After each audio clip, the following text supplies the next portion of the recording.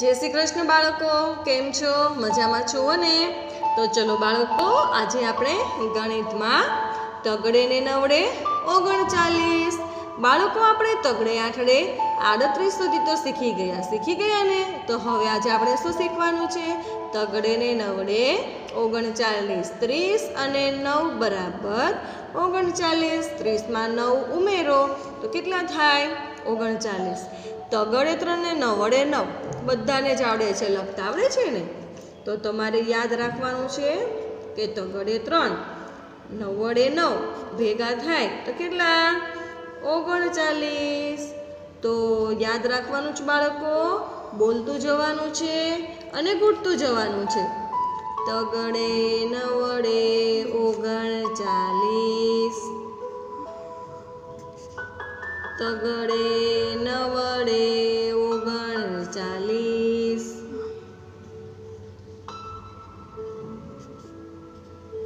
તગડે નવડે ઓગણચાલીસ.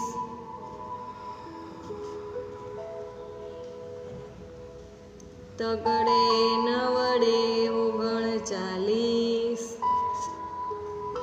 તગડે નવડે કેટલા થાય બાળકો? ઓગણચાલીસ.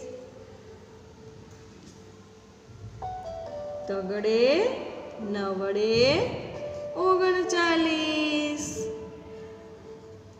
તગડે, નવડે, ઓગણચાલીસ.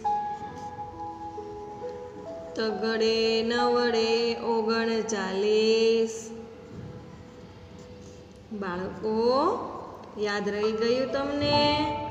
તગડે, નવડે ઓગણચાલીસ થાય ચલો બાળકો, ફૂટી નાખ્યા ને? હવે આપણે જાતે લખીએ. તગડે ત્રણ, નવ વડે નવ. તગડે નવડે ઓગણચાલીસ. તગડે નવડે ઓગણચાલીસ. તગડે નવડે ઓગણચાલીસ.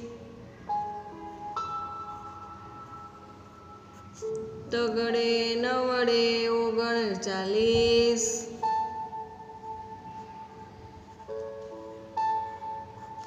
તગડે નવડે ઓગણચાલીસ. લખો છો ને બાળકો તમે બધા? યાદ રહી ગયું? તગડે નવડે કેટલા થાય? તગડે નવડે ઓગણચાલીસ. તમારે પણ આવી રીતના લખવાનું છે. તગડે નવડે ઓગણચાલીસ, તગડે ત્રણ, નવડે નવ. તગડે નવડે ઓગણચાલીસ. તો ચલો બાળકો, આપણે તગડે નવડે ઓગણચાલીસ લખી નાખ્યા. હવે આગળ જોઈએ પ્રવૃત્તિ. ચોરસમાં આપેલ અંક જેટલા ચિત્ર ફરતે સર્કલ કરો. બાળકો અહીંયા તગડે ત્રણ લખેલા છે. તો તગડે ત્રણ છે, અહીંયા સફરજન બહુ બધા આપેલા છે.